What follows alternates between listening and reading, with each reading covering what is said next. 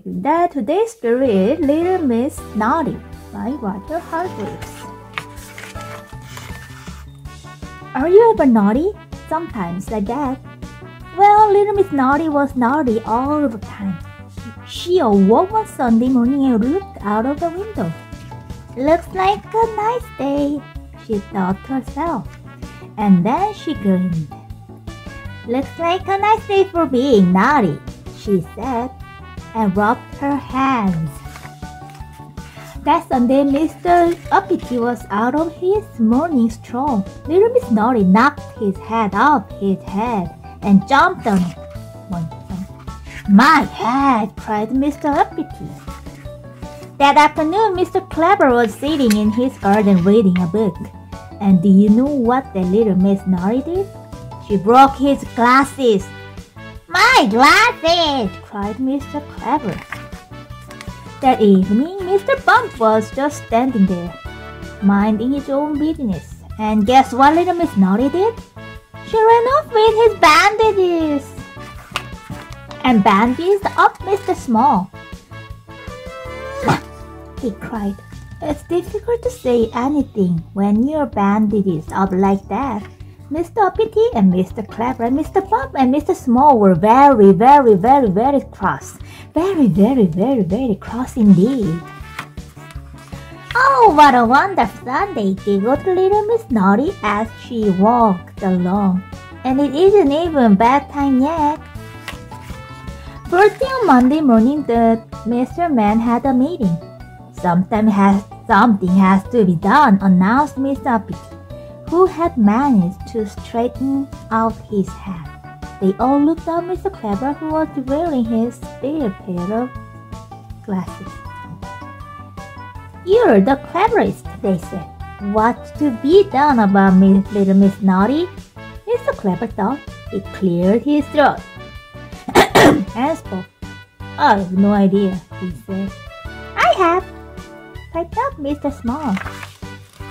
I know what that naughty little lady needs, he went on. And I know who can do it, he added. What? asked Miss Uppity. Who? asked Mr. Clever. Aha! chuckled Mr. Small and went off to see a friend of his.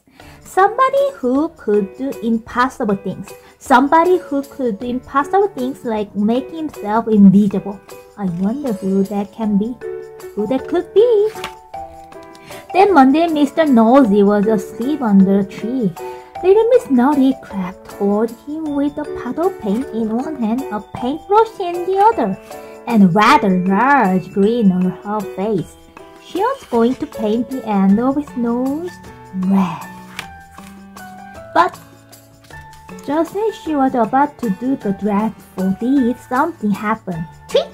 Somebody tweaked her nose. Somebody she couldn't see tweaked her nose. Somebody invisible. I wonder who. Ouch! cried little Miss Naughty, and dropping the paint and paintbrush, she ran away as fast as her little legs would carry her.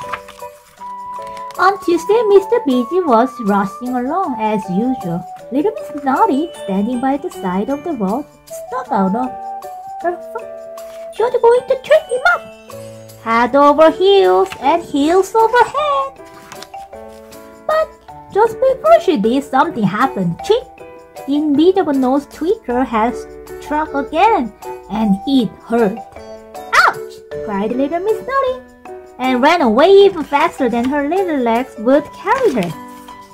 On Wednesday, Mr. Happy was at home, watching television. Outside, little Miss Naughty picked out a stone, picked up a stone. She was going to break his window. Nerdy girl. But as she brought her arm back to throw, guess what? That's right, twig. Ouch! cried little Miss Naughty as she ran off holding her nose. And so it went on all day Thursday, tweet, all day Friday, tweet, tweet, all day Saturday, tweet, tweet, tweet. By which time little Miss Naughty's nose was bright red. But by Sunday she was cured. My naughtiness at all. Thanks to the invisible nose tweaker, on Sunday evening Mr. Small went around to see him. Hello, Mr. Invis Impossible, he smiled. Thank you for helping to cure little Miss Naughty. My pleasure, laughed Mr. Impossible. But it did take a week. Mr. Small grinned. Don't you mean, he said, all tweet? Little Miss Naughty, the end.